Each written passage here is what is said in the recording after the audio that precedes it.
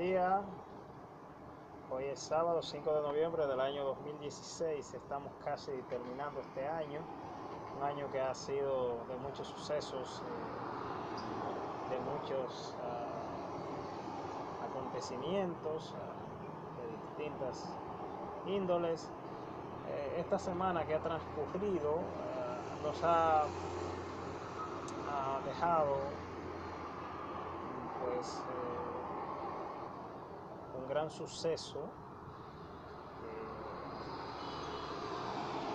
ha acontecido, ha tenido lugar en la ciudad de Cleveland, en el estado de Ohio, Estados Unidos, donde en el séptimo partido de la Serie Mundial, la vez número 37 que se da una situación de séptimo partido en estos clásicos,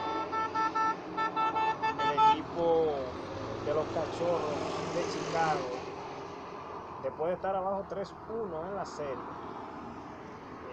eh, estaba one win away to uh, win the World Series, but the Chicago Cubs team was a very uh, decisiveness and uh, or play play with decisiveness Chicago ha ganado la Serie Mundial por primera vez desde el año 1908. Estamos hablando de un interregno de 108 años que transcurrieron desde que los cachorros ganaron por última vez la Serie Mundial. Y es algo tan significativo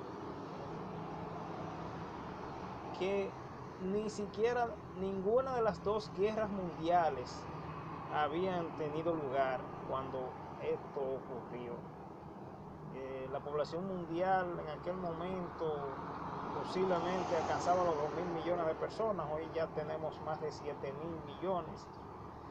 Eh, y realmente pues uh, el mundo ha cambiado tanto en, en, ese tiempo. Pero este suceso ha sido de verdad un suceso pues histórico, pues es el equipo con la mayor sequía en toda la historia de los deportes profesionales de Estados Unidos y cuidados y del mundo.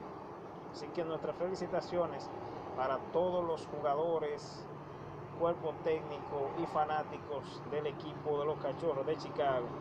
Una ciudad que había visto ganar a los Bulls en el basquetbol de la NBA, que había visto ganar a los Medias Blancas incluso en el año 2005 en el béisbol de las grandes ligas, aquella gran serie mundial contra los Astros de Houston, donde barrieron a los texanos, dirigido por Ozzy Guillén, eh, que se convirtió en el primer manager latino en ganar una serie mundial. Eh, esta ciudad que había visto ganar a los Bears, a los Osos de Chicago,